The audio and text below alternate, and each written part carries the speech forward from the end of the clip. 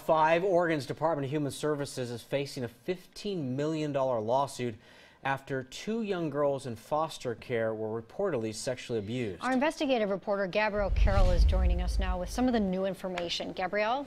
This lawsuit says two girls who were seven and five years old were repeatedly sexually abused by their 13 year old foster brother.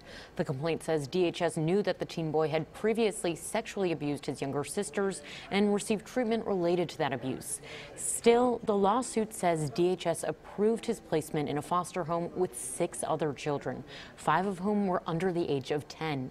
The lawsuit says the seven year old girl was repeatedly raped and threatened, and the five year old was sexually abused and forced to watch the teen abuse her sister. The foster parent reportedly asked DHS to remove the teen from the home after a month, but DHS didn't take the boy away until another month had passed. DHS told us that they don't comment on pending litigation.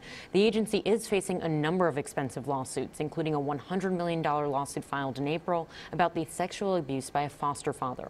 In 2015, DHS paid out a $15 million settlement in a case in which nine foster kids were abused by their state appointed foster father. We'll have all the details online at koin.com. Back to you.